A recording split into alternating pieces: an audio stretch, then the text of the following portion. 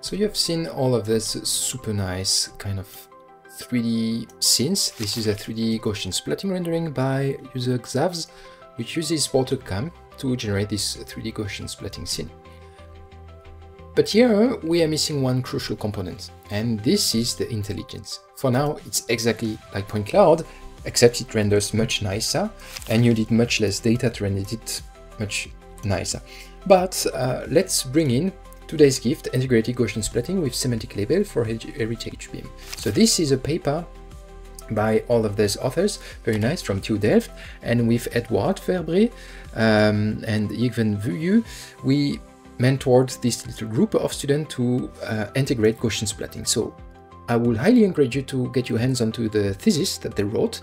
And what they aimed to do is essentially to address a new method of heritage preservation by using Gaussian splatting in conjunction with segmentation uh, to create visually accurate model which also incorporates semantic labels. So this is something I'm super receptive to because this is moving from uh, pure raw data to actually using intelligence base like Smart Point Cloud, but you're Smart Gaussian splatting in a way.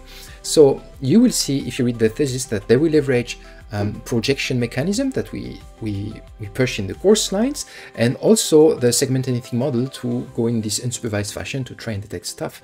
And after, they will experiment with various features and uh, labels to see how much they can uh, use that information to better represent and act with the data. So, as you can see, normally from what uh, they had here, you have the ability to go into the GitHub repository, check out the data and the various stages, uh, as well as their LinkedIn profile, to use uh, this kind of work. Today, I think it's nice to also put the, the student in light. Sometimes they do very great stuff, and more often than not, they do, um, which is a great time to explore, to experiment today.